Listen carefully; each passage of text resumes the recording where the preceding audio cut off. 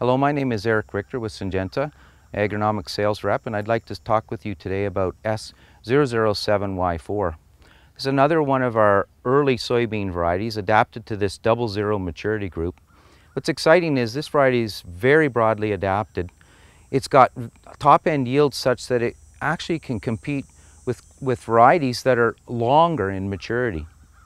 It doesn't give up anything in terms of yield.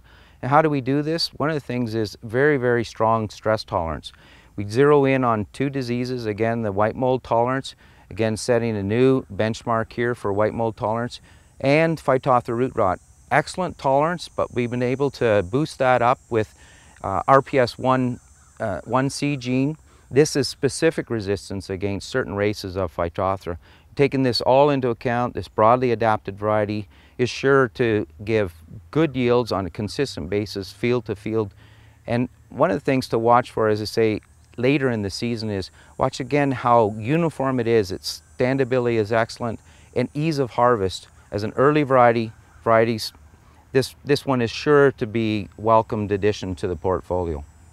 Again, one of the things to watch for on this variety is its earliness and maturity. It's a true double zero and if we look at 007Y4 at this time of year relative to the other varieties, again, you'll see it's ready to harvest, great standability, which translates through to good harvestability, and the other varieties are not yet ready to harvest. So later in season with 007Y4, we can expect this variety again to mature as a true double zero, meaning you'll have earlier harvest relative to the other varieties, and you don't give up anything in yield potential.